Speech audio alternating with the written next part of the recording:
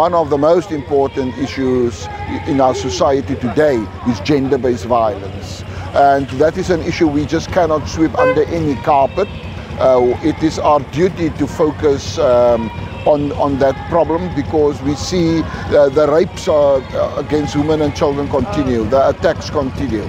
And uh, as a city, as, as, as one of the biggest cities in South Africa, I think we're duty bound not to leave this issue for national government alone.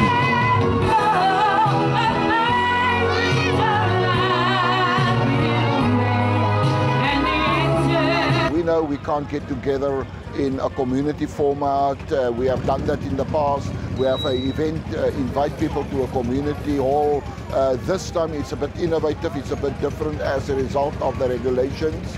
And that is why we're having this drive-by. And what you can see next to the roadside, lots and lots of people. Um, uh, we will see now in Elsies River. I just driving drive past there now. There's hundreds of people uh, lining up uh, along the road. And at the end of the day, uh, there's a huge interest in what we are doing. People love the new method. People love the new uh, ways of doing things.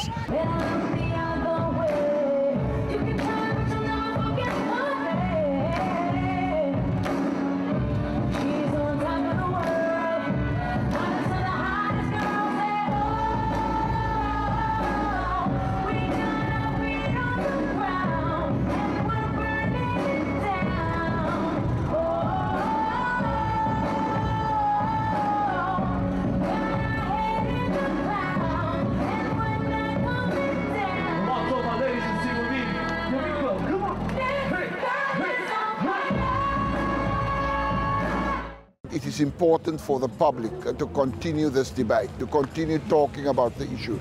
I, I did say at each and every of my events this morning already, the, the focus is far, far too much only on the women. I think we need to change the focus and to tweak it a little bit.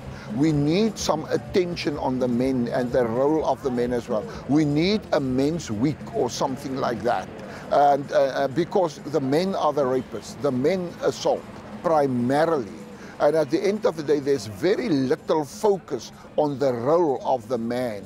Uh, uh, and uh, I just want to give this, this message to government as a whole. We need uh, to debate that issue and to see what else we can do with regard to more attention and more focus on the role of the man in society.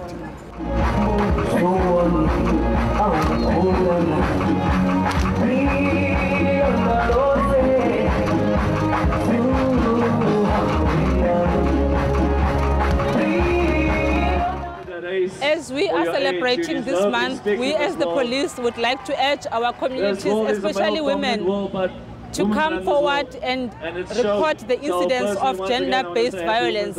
Gender-based violence is for real. It's another pandemic that we are facing up with.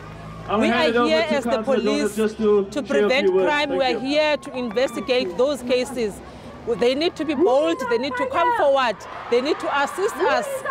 Uh, the responsibility of, of, of crime is not only for the police but also for the community.